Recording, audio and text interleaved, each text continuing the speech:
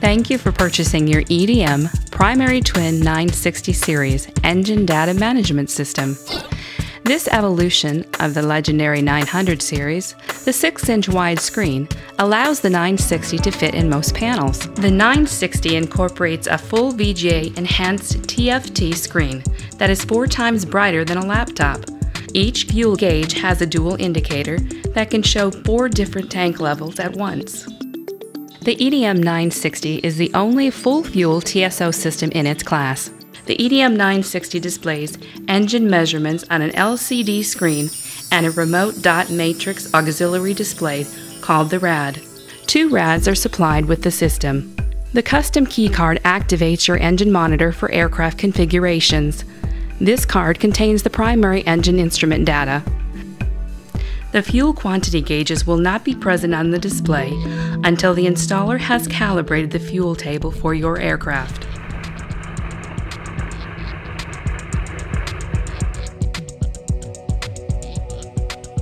Four operating buttons control all functions of the EDM 960. Sometimes we will refer to the numbers 1 through 4 from left to right. These buttons can change labels depending on the current state of the EDM 960. The term tap is used to denote pressing a button momentarily. The term hold is used to denote pressing and holding a button for 5 seconds or longer. Buttons 1 plus 2 function like the EDM 760, with the button 1 stepping through menus and button 2 starting lean find mode. Button 3 allows you to dim and brighten the screen, and button 4 lets you select the scanner auto sequence. When in program mode, the buttons will be relabeled. You must always inform the EDM how much usable fuel is on board. Power Up, you will see Refuel at the lower left of the screen. Tap Refuel if you refueled the aircraft, otherwise, tap Exit. Tap Save to accept main. If you filled only the main tanks, all other tanks are empty. Tap the next button to see main plus aux. Tap the next button to see adjust plus zero gallons if you only added a partial amount of fuel. Tap Save button to accept the displayed value and exit. The display screen is arranged into three sections. At the top is the RPM and manifold pressure section. The bottom left is the scanner section, and the right side is the bar graphs section.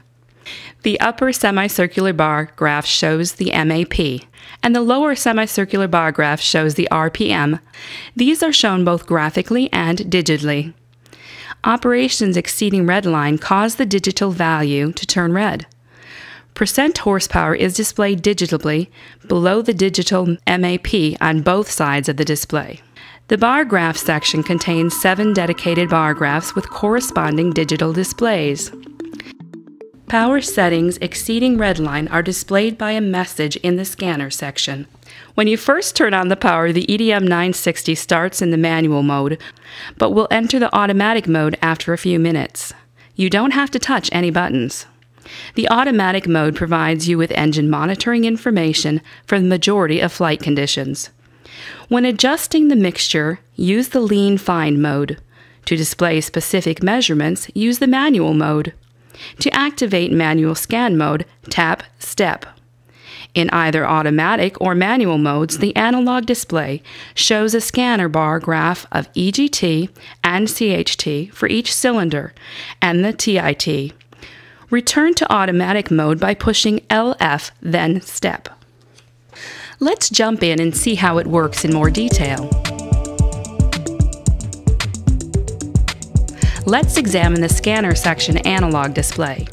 On the left side of the display, in blue, is the exhaust gas temperature, or EGT, bar graphed presentation. The height of each column represents the EGT. The TIT is in the center for both displays. In white is the cylinder head temperature, or CHT, bar graph presentation. The CHT temperatures are above each bar. Below each column is a number corresponding to the engine cylinder number. A square surrounding the cylinder number indicates which cylinder is being displayed on this numerical display. Beneath the bar graph is the alphanumeric display, which will give you EGT and CHT of each boxed cylinder. All the additional parameters not shown will be displayed beneath each bar graph except the EGT and CHT.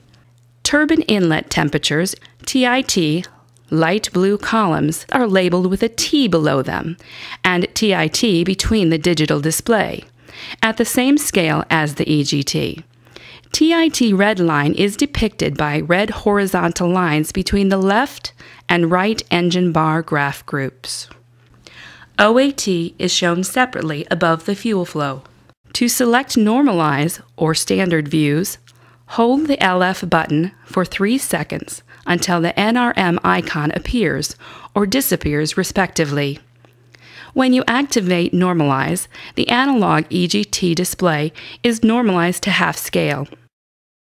When using the Normalize view, during engine runup, a fouled spark plug will appear as a higher EGT column. Even though the dimming is automatic, the dim button will adjust the display brightness. The 960 gives you a choice of three display indexing options as selected by the EGT Fuel Flow button. The EGT position will display only temperature related measurements. The fuel flow position will display only the fuel flow related measurements, and the All position will display all measurements. This symbol will help you synchronize your engines. The sync symbol will turn left or right as you sync your props, then disappear. Your EDM 960 can also be configured for different engines, including radial.